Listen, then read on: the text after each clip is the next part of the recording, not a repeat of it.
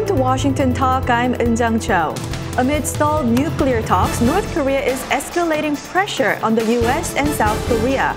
It conducted four rounds of missile tests in two weeks, denounced joint military drills, and threatened to take a new road. What strategic choice will America make?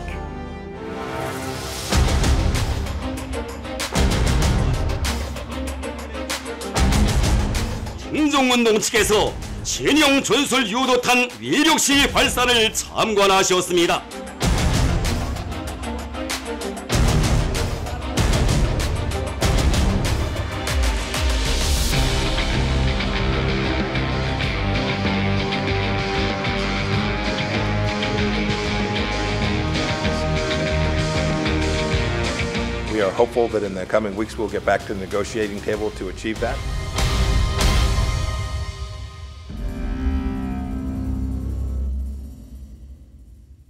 In the studio with me today, Ms. Jenny Town, fellow at the Stimson Center. Ms. Town is also the managing editor of the 38 North, a website providing policy and technical analysis on North Korea.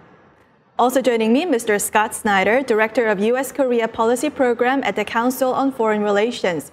His latest book, South Korea at the Crossroads, charts the evolution of South Korean foreign policy and strategic choices. Welcome to the program. Thank you. Now, Scott, let me begin with you. So, um, with the flurry of missile testings, we detect a slight change in the tone coming from the U.S. officials. Um, Defense Secretary Mark Esper says that North Korea is a grave threat. National Security Advisor John Bolton says that President Trump is watching very, very carefully. So, is Washington currently sending a toned down warning to North Korea? Uh, I do think that we're seeing a very gradual rationing up uh, of expressions of concern about what North Korea is doing with its missile testing. Uh, but we really haven't seen a limit uh, defined uh, by the United States uh, in terms of these statements. and this probably reflects the fact that President Trump wants to keep North Korea in the win column in terms of his own political perceptions of his foreign policy. Uh, and it also probably reflects the likelihood that the U.S. still really wants to get back to the, the, negotiation track. But I think that where we're really seeing some wear and tear in terms of these tests uh, is in the congressional reaction. And so, for instance, Senator Markey uh, gave a statement suggesting that uh, Trump was giving a green light to this kind of testing and tried to send a much firmer signal of a limit. And the problem there uh, is that as these tests go on, uh, it undermines uh, the um, uh, expectation for successful outcome to negotiations, especially on Capitol Hill. Mm-hmm. So, Jenny, as Scott just pointed out, there are criticisms regarding President Trump um, dismissing North Korean missile testings. So, is North Korea's um, missile testings um, challenging and putting strains on uh, U.S.'s lenient approach to North Korea? I think it's definitely trying the patience of the administration. And I think the, the US administration has tried very hard to keep the door open to negotiations. Um, and this kind of behavior is not helpful. Um, but it's also not helpful that when the first test happened, the precedent was set that this was not a big deal, that it was okay to go ahead and do this as long as it wasn't the long range missile testing. And so this messaging has really now become problematic in trying to figure out where those limits are, as Scott said, is that we just don't know where that line is that if they cross it, they're going to move forward, other than if they do long range testing. And so it has basically greenlit um, North Korea to do these kind of lower level provocations, um, which put a lot of strain also on alliance relations, because I'm sure those in, in South Korea are really trying to figure out what does this mean for their defenses and how much does the U.S. care. Mm-hmm. So if any one of you, is it fair to say U.S. is currently facing a dilemma between trying to keep diplomacy alive and trying to stop North Korea from these provocations? Well, I don't know if it's necessarily a dilemma, but uh, I think that it's clear that uh, the U.S. wants to keep diplomacy alive. Um, uh, there is an effort to try to find a way to define a limit. Uh, in some ways, it reflects the tension between Trump's political view uh, and the objective of the U.S. government to try to achieve a fully uh, verified denuclearization goal. And Jenny, um, CNN reports that uh, President Trump um, is soured on South Korea because he believes South Korea should rein in North Korea and stop North Korea from doing those missile testings. And he believes that South Korea hasn't delivered much. Um, do you think there was more room that South Korea could have done? I think it's a pretty ridiculous notion um, that Trump thinks that President Moon could control Kim Jong un and could control this kind of behavior, especially when we've basically tied his hands. Um, you know, in the inter-Korean accords, Korea has, South Korea has already made commitments to North Korea that it certainly can't keep, it can't deliver on because it doesn't have the cooperation of the U.S. So, you know, this includes economic cooperation, this includes the peace agenda. And so, unless we're willing to empower South Korea to move forward um, with an agenda that would help build leverage for South Korea, the expectation for them to now go in and, and try and convince Kim Jong un of of a path that's more conducive to U.S. ROK interests is, is really kind of ridiculous. Mm-hmm. Now, Scott, what do you make of uh, President Trump's expectations in South Korea's role? Because President Moon wanted to be the mediator and the facilitator between Pyongyang and Washington. Well, I, I worry about this a little bit because I think that uh, the initial kind of bargain uh, in the relationship between and, uh, Trump and Moon uh, was one in which uh, Moon was going to deliver uh, North Korea as a big diplomatic success for Trump. Uh, and yet, what has happened is that after the initial um, kind of uh, um, intermediary role, uh, North Korea has been trying to marginalize South Korea. and so, this is now having an impact in terms of the U.S. South Korea relationship because. Uh, the transactional basis upon which uh, Moon and Trump had a positive relationship is being eroded, and President Trump is introducing other issues like burden sharing uh, that uh, are potentially very dangerous for uh, the foundations of the relationship. Mm-hmm. And Jenny, South Korea's reactions to the missile testings has also been muted, and South Korea's National Security Advisor Chung Eui-yong says that the missile testings are not in violation of the 2018 Comprehensive Military Agreement. Do you agree? I think it's a very fine line, and I think there's a lot of room for interpretation within both the Inter-Korean Accords and that military agreement. And the problem is, is that we haven't had a formal agreement with North Korea, either the U.S. or South Korea, that defines, um, you know, what is a suitable parameter of a, of a freeze for freeze sort of arrangement, or um, specifics on military exercises and, and these kinds of provocations. And so I think, you know, obviously South Korea wants to keep the door open to diplomacy as well. They have a lot invested in this. Um, it is a very kind of political take, but it, it reminds me a little bit also of when um, North Korea started to refurbish the facilities at Sohae Satellite Launching Station, where they had um, committed the dismantlement of those facilities in the in the Pyongyang Declaration last September, and then reversed it when they felt like they weren't getting any progress on the rest of the agenda. Um, South Korea has not yet called that a violation, and I think they're still keeping the door open to if the agenda can get back on track, that most likely it will go back in that direction. Um, but you have to wonder how much patience um, South Korea can really have with this kind of antagonism from North Korea. I, I, agree that this is a violation of the spirit rather than the letter of the Comprehensive Military Agreement. Uh, and, and of course, the North Koreans, I think, are showing their concern about uh, U.S. ROK conventional dominance on the peninsula by trying to build greater conventional capacity. And so I think that's actually what's really interesting is that the North Koreans, having made progress on their nuclear capability, are now turning to the conventional deterrent because they realize that they're still vulnerable. And so I think that we may see continued efforts of this sort uh, by North Korea. Uh, and uh, it complicates uh, the challenge because the comprehensive military agreement was supposed to open the door to tension reduction, and yet we are beginning to see that it's not having the desired effect. Mm-hmm. And Jenny, we're now looking at North Korean intentions, and North Korea still left room, the door open for future diplomacy with the United States. So, how can we connect North Korea's recent missile testings with its desire to engage with the United States?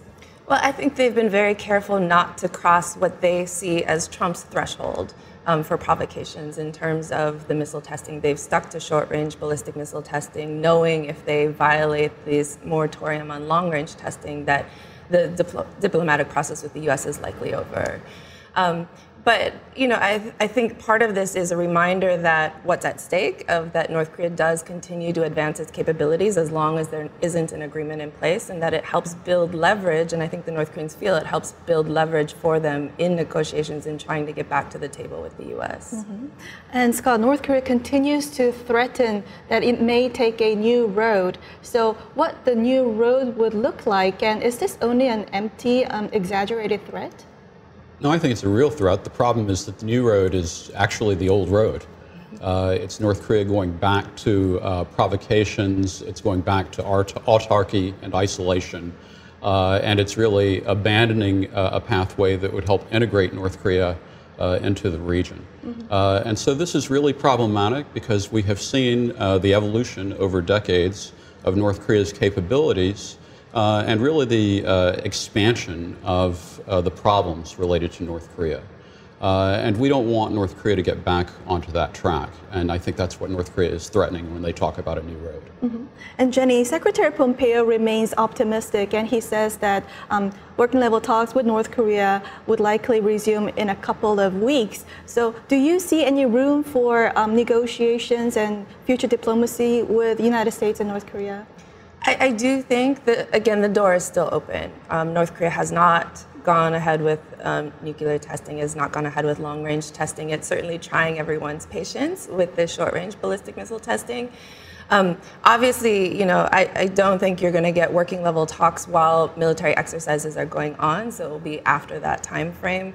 Um, I think the U.S. has to be very careful in its messaging going forward as to, you know, what's really going to bring um, North Korea back to the table. And I think that's really the question is, does North Korea really know what it wants right now? Has it really chosen its team yet? And we haven't seen that. Are they still recalibrating?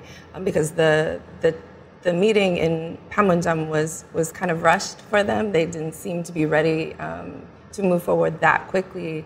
Um, but certainly, I think they're, they're gearing up for this. Mm-hmm. Um, what they come back to the table and ask for will be very interesting. Um, but you know, the last thing we need is for the rhetoric to really ratchet up with these um, ballistic missile tests that would make it harder to get back to the table. Mm-hmm. Uh, before we wrap up this discussion, um, I want both your opinions. So, Scott, um, there is a current uh, heated debate in South Korea over whether to withdraw from GSOMIA. Um, is this only a bilateral issue between South Korea and Japan? And what would be U.S. reaction if South Korea go ahead with the withdrawal? It's not a bilateral issue. Uh, Secretary of Defense Esper has expressed his uh, preference that North Korea not abandon GSOMIA. Uh, at the same time, it wouldn't uh, hurt the U.S. because the U.S. has bilateral inter- intelligence sharing agreements with both South Korea uh, and Japan. Uh, and so we wouldn't lose. I think that Japan and South Korea, respectively, would lose the opportunity to benefit from each other's intelligence collection. Uh, and so, you know, this is a, a negative step. Uh, it is a potential step uh, that uh, undermines the assumption uh, that the U.S. has in terms of its own security strategy that we have allies in South Korea and J- Japan, respectively, that are going to be on the same page. I, I think it's really part of a greater push for trilateral cooperation and cooperative security, um, collective security. I think the problem becomes, you know, obviously in the in the recent um, exchanges between Japan and South Korea is that the U.S. would prefer a collective security arrangement in an area where there is no agreement on collective security.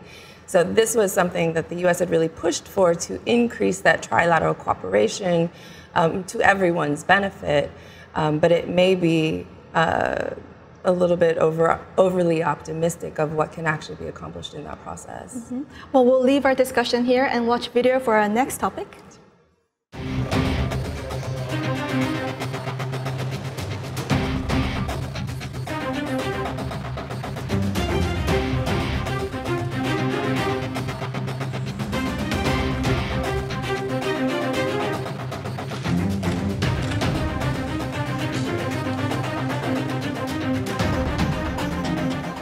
as we often state every time we talk about it, sanctions will remain in effect until we uh, believe, all parties believe, that we have reached that goal.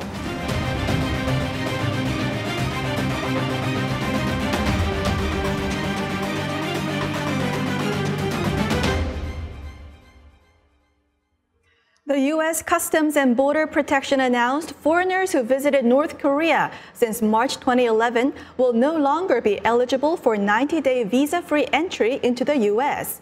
Some 37,000 South Koreans are estimated to be impacted by the new rules. Now, Jenny, is, do you think this is a kind of a secondary sanction on North Korea? Is this tightening the noose on North Korea's tourism industry? It's certainly possible that that's one of the underpinnings of this, um, but I, I do think it's part of a larger mandate on immigration. Um, you know, certainly it, there is a mandate that says that um, that the visa waiver would be canceled for, I think it's Iran, Syria, and everyone that was on the SS, the state sponsors of terrorism list. So when North Korea was relisted on that list, it was supposed to go in effect then. It's interesting that there's been this 20 month delay um, in implementation, and it's hard to see how they would actually um, actually. Uh, enforce this, given how difficult it is to track people's movements um, going to North Korea unless it's self reporting. Um, but I don't think it's necessarily um, a secondary sanction and, and, necessarily targeted specifically to um, North Korea's tourism industry. Mm-hmm. Do you see a parallel with the secondary financial sanctions?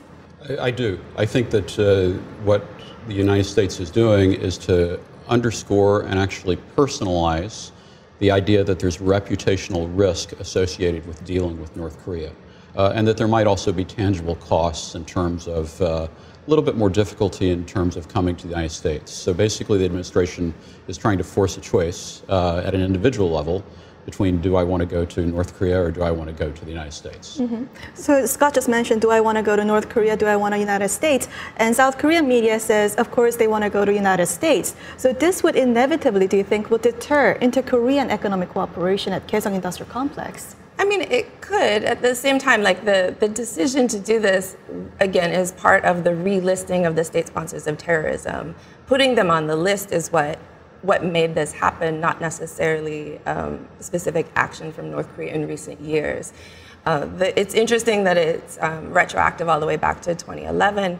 It will have implications um, for future inter-Korean economic cooperation, but it's not denying entry of people who have been to North Korea to the U.S. It just requires them to get a visa in order to do it. Mm-hmm. And talking about inter-Korean economic cooperation, South Korean President Moon Jae-in called for peace economy to overcome Japan's um, economic export restrictions on South Korea. Is this a very feasible plan? I don't think so. I think there are two major obstacles to building a kind of peace economy between the two Koreas. Uh, one is the UN Security Council resolutions, which essentially require North Korea to be on a path to denuclearization in order to be delisted. Uh, and, and, the second one um, is evidence that peaceful coexistence is being established between the two Koreas. Mm-hmm. And so those two obstacles uh, really have to be overcome before we can imagine that there's going to be an inter Korean peace economy. Mm-hmm. What do you make of the peace economy concept?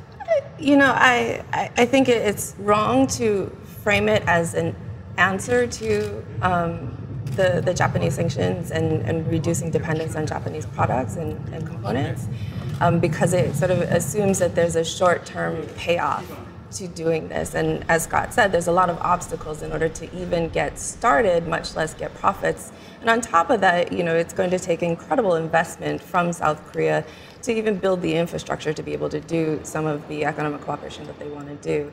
I, I think it's also, you know, this idea that they're going to have this big benefit from a peace economy um, distracts also from the conversation that needs to happen of, of how to make Korea, South Korea's economy better um, and really adapt to the maturing economy that it is instead of looking to you know um, cooperation with North Korea as sort of this this will fix everything. Mm-hmm, mm-hmm. And Scott, the day after South Korean President Moon Jae-in called for a peace economy, North Korea shot missiles.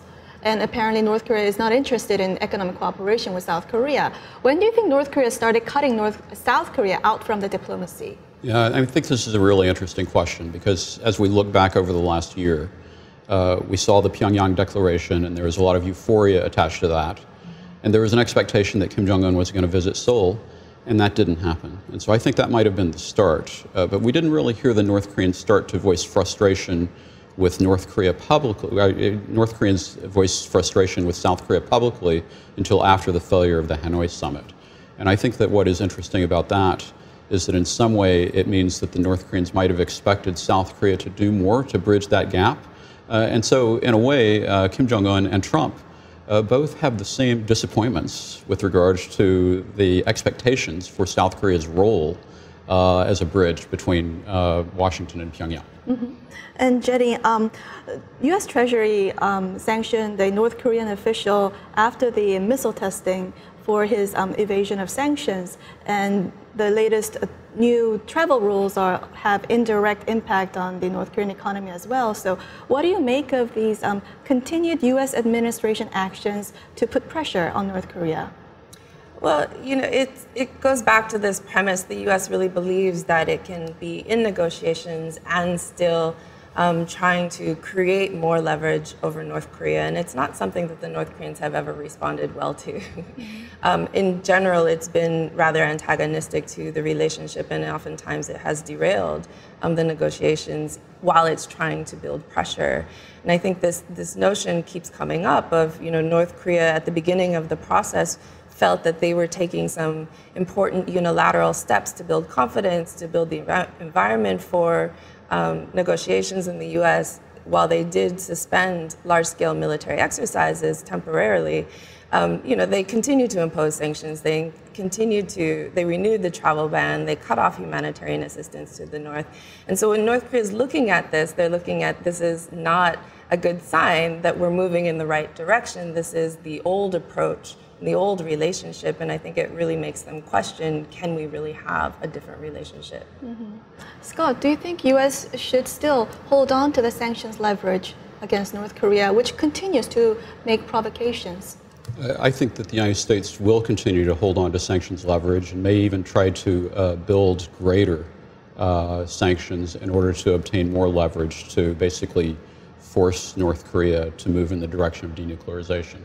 And where this becomes a problem, I think, is that, I mean, there are two forms of, uh, two ways of inducing self restraint uh, on North Korea's part. Uh, one is through coercion, uh, and we've seen a lot of that. Uh, but the other uh, opportunity that maybe we're just starting to miss is to induce self restraint through reciprocal unilateral measures. And as Jenny suggested, the North Koreans did send some signals that they were interested in showing self restraint by taking their own steps to reduce actions. And now they may perceive that the U.S. is not reciprocating. Um, and I think that it just illustrates uh, the magnitude of mutual distrust. Uh, and the incredible difficulty that we're going to have in trying to close that gap. Mm-hmm. Well, we'll have to leave here and now move on to our next segment. Now, time for the photo moment. Time to look at an interesting North Korea picture. Today, it's North Korea's recently released stamp featuring President Trump and Chairman Kim marking their meeting at the demilitarized zone. The stamp shows an image of the two leaders standing in front of the inter-Korean border. President Moon, who was also at the DMZ together, was not included in the stamp. In June, North Korea also issued stamps celebrating the first anniversary of the Singapore summit. Scott? You know, it's very interesting. I think the North Korean issuance of stamps is almost like a pictorial national narrative for what North Korea thinks is important. Uh, and so clearly they think the meeting with Trump was important, but uh, we all know that there have also been stamps uh, commemorating successes on missile launches. Uh, and so I think that we have to, uh, when we examine our stamp collection, we have to take it uh, in its totality mm-hmm. In order to understand uh, what North Korea is emphasizing and where it's going. Mm-hmm. Jenny? I, I, would agree. I, I, would add, I think it would be weird if President Moon was in the picture because this really was a bilateral meeting. It wasn't a trilateral meeting, even though Moon was there for a quick photo op. It was not a trilateral consultation. Mm. Um, you know, I think it does also show that North Korea does value the diplomatic process and is trying to sell the diplomatic process domestically. Um, but you know, at some point, they need to start showing results as well as to why they've engaged in this, why they've engaged in the, a narrative of denuclearization. And so far, um, I think they have very little to show for their efforts. Mm-hmm. Well, that's all the time we have for this week. Scott, Jenny, thank you for joining us. Thank you. Thank you. And this was Washington Talk from the Voice of America, and I'm Eun Jung Cho. Join us next week for more analysis on North Korea.